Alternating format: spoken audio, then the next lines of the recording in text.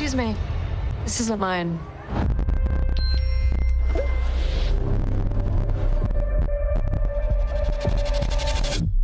Ethan, today is a day that you're going to remember for a very long time, but if you handle it right, you're going to have a chance to forget it. Just relax, okay? An associate of mine is going to step into your line, and you are going to make sure that his bag clears the machine. Oh, I'm sold already. A mysterious traveler blackmails a young TSA agent into letting a dangerous package slip through security and onto a Christmas Day flight. That is the plot of a new Netflix movie called Carry On. And this morning we're joined by one of its actors, Sinqua Walls.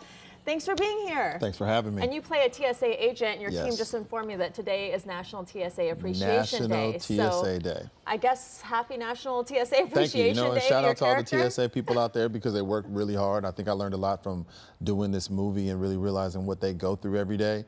It is a it is a tough task that they that they take on every day. So really, truly, shout out to them and like all the hard work that they put together for us to travel so freely and safely throughout the airport. Yeah, I mean, you must have learned a lot. I did. Right? I learned. I mean, that that that trailer's suspenseful. It is. You know, the movie is too. But I learned uh, such a great deal. How they screen, how they look, how they identify, and really just the mental toll it takes on you that they have to go through every day. So um, I was grateful to to. Um, to step into those shoes. And now when I travel and I go, no matter what, I'm so patient with yeah. TSA people. I'm so like, yeah, no problem. You want me to take my shoes and you don't? Okay. Electronics, whatever, whatever I can want. do to help you because I understand you what you're going through. And hopefully you're not being blackmailed. No, I, you know, and I, I mean, if it was me, oh man, I probably would.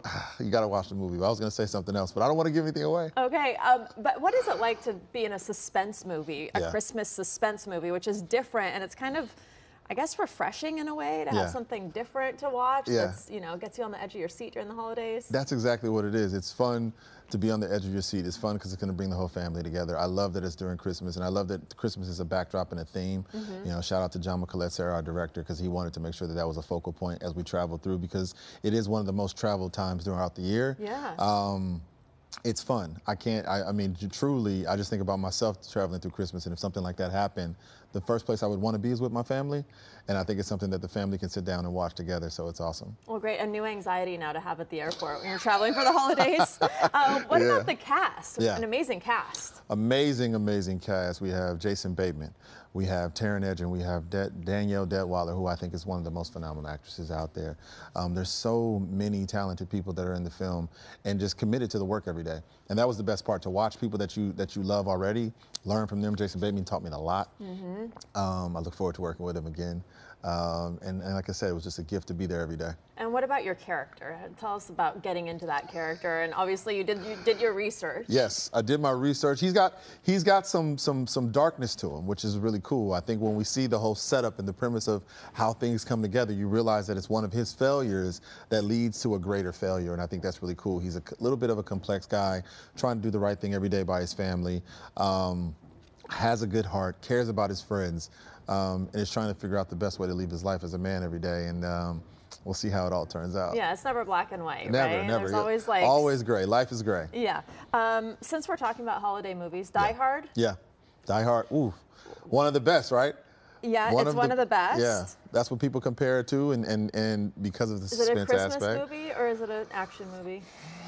Action action Christmas movie, right? Like it's an action Oh, Christmas you have movie. to choose. you have to choose one. It's well, I watch a lot of movies, and I and and my my appetite for movies has no season. So I'll say that it's a Christmas You should be a movie. politician. Maybe a politician your next role.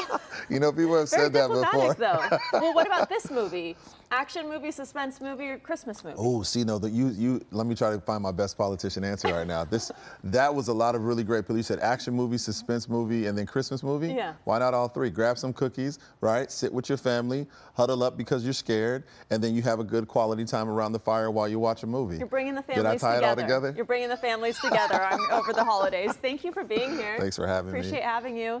And this film hits Netflix on Friday, December 13th. That's right. Friday the 13th. That's right. That's right. Okay.